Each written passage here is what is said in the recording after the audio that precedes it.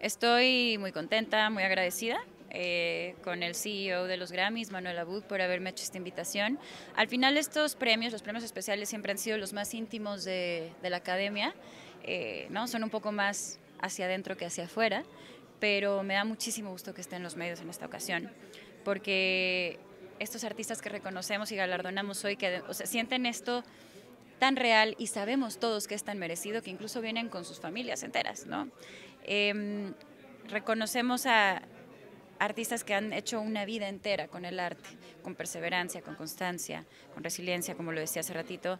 Em, tienen carreras, no son un momento, no son un flashazo, son historia, son referentes. Entonces, eh, como miembro del Consejo, fascinada de poder llevar este evento y como artista y fan, eh, nerviosa, nerviosa tomando el ejemplo, tomando el cue eh, y decidiendo con cuál voy a perder este el estilo y aventarme a abrazar. ya se empezaron a retomar los shows y cierro el año con un par de shows en México, en Ecuador. Eh, este año he estado preparando otros proyectos, de, diversificándome un poquito en arte también, pero no en música nada más. Ya son cosas que salen el año que viene, que ya verán, con el favor de Dios.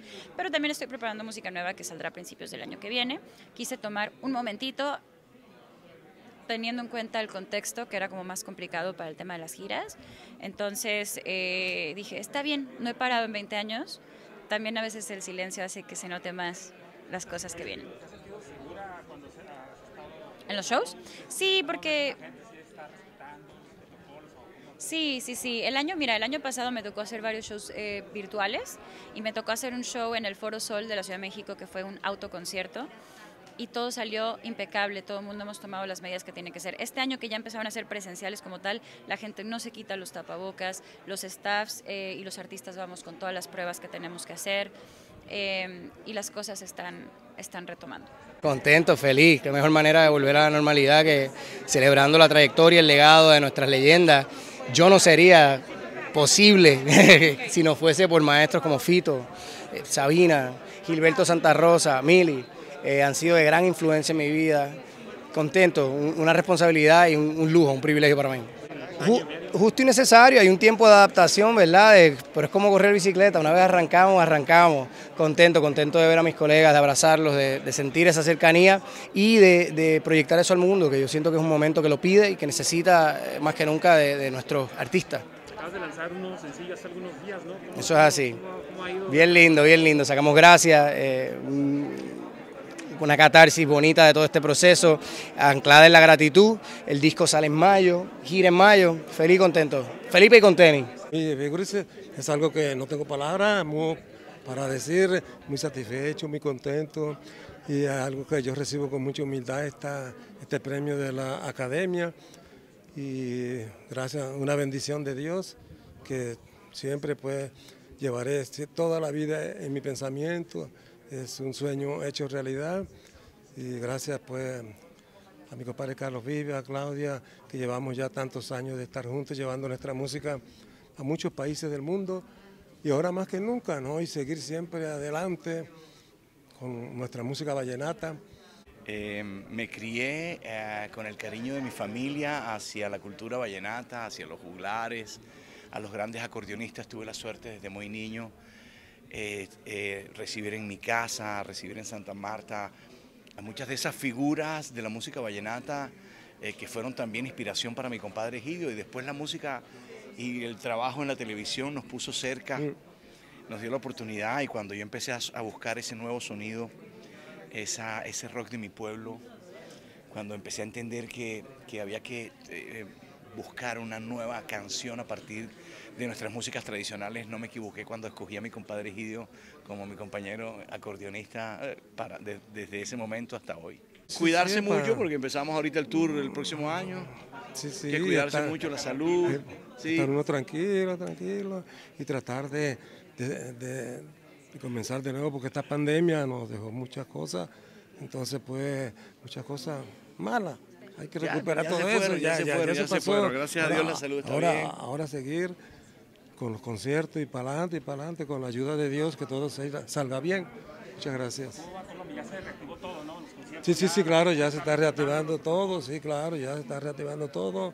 Ahora vamos a comenzar el 3 de diciembre en Miami, Orlando, nuevamente los conciertos, después en enero y febrero todas las giras en Estados Unidos y seguir todavía para adelante, ¿sí o no, compadrito? Así es mi Ah, compadre, ah, así es mi seguir compadre. para es adelante. esperando que mejoren todas las cosas para todos y para... Y ahí vamos, en Colombia nos estamos ahí, eh, ah, todavía con, con- con mucho cuidado, pero ahí va la cosa, creemos que, que las cosas van adelante. Y no, son muchos sentimientos encontrados porque la persona de Juan de Dios Ventura gestionó para mí este momento. Como miembro de la Junta Directiva de los Latin Grammys, eh, me entero por el, don, el señor Gabriel Avaroa, que ya es el presidente saliente de los Latin Grammys, que siempre estaba mi nombre presente en la boca de Johnny para decir, eh, para hablar de calidad o para hablar de reconocimientos. Eh, una vez que yo me enteré de que iba a ser galardonada con este premio a la excelencia, llamé a Johnny y le dije, tú tienes que estar aquí presente conmigo. Y me lo prometió, pero Dios tenía otros planes con él y se lo llevó al cielo. Por eso es que hoy lo tengo en mi corazón y lo tendré en los labios, a flor de labios, en todo momento, porque Dios ha sido bueno con mi carrera, en 45 años de carrera, pero también Dios ha sido bueno en, en- en darnos eh, 81 años de vida de un hombre que supo siempre defender su patria, su familia, sus hijos, sus conciudadanos y su gremio. Y hoy doy fe de que estoy aquí gracias a la, a la gestión y el cariño y el amor que Johnny Ventura le, le ha tenido a la música y a su país, la República Dominicana. Como hoy le tengo yo cariño y respeto a mi país, la República Dominicana, en esta premiación a la excelencia. Bueno, se están reabriendo las puertas paulatinamente, ciertamente con protocolos para mantener que no haya ningún rebrote, pero sí estamos ávidos los artistas de poder abrazarnos con nuestro público y haciéndolo con la, con la, con la debida precaución, yo creo que lo vamos a lograr en esta Navidad. Y sobre todo vamos a cantar la música navideña que nos caracteriza. Sí, muy agradecido sobre todo pues, pues, pues, eh, yo tener la oportunidad de ser reconocido al lado de estas grandes figuras que se reconocen hoy es un honor muy grande y entonces para, para mí, en mi carácter personal y para el género de la salsa, porque es importante que se reconozca el género. Sí, como no, yo estoy, yo estoy en gira ahora mismo. Yo vine a esto y, sigo de gira y eh, eh, es, es una sensación increíble volver a ver el público, la- el entusiasmo de la gente. Los músicos y cantantes estamos igual entusiasmados, los técnicos, todos. Así que estamos reactivados y, y- y con mucha esperanza de que este próximo año va a ser uno mejor todavía. Me siento muy satisfecho, me siento muy... Si quiere.